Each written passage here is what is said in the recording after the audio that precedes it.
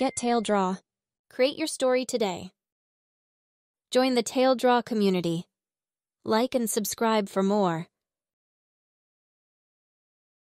Detective Liam and the Case of the Misleading Mouse.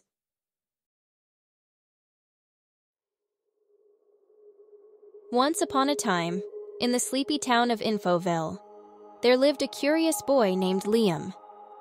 He had a sharp mind, a keen eye, and loved solving mysteries. When people had trouble understanding things, they sought help from Liam, the third grade detective. One sunny morning, a strange event rocked Infoville. People started talking about a giant mouse invading the town's cheese factory. Liam was intrigued, but something seemed off. He quickly took out his digital notebook, a tablet his parents had gifted him. Liam knew how to use technology responsibly. He searched for more information online, but he found conflicting reports.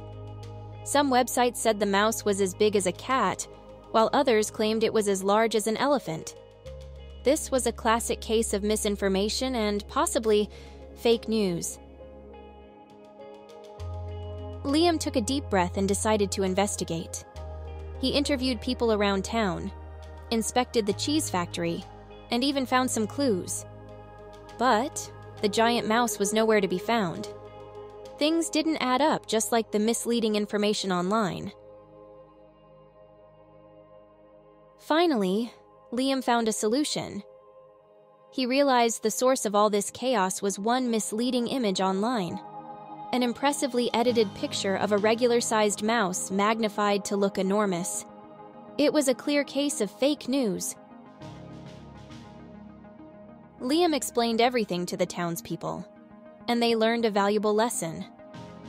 They thanked Liam for helping them understand the importance of verifying information before believing everything they read online.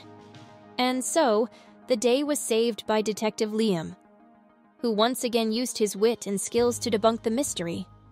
The end. Until next time, help your children explore their heart's story. Download TaleDraw today. Available for all audiences on Google Play and Apple App Store.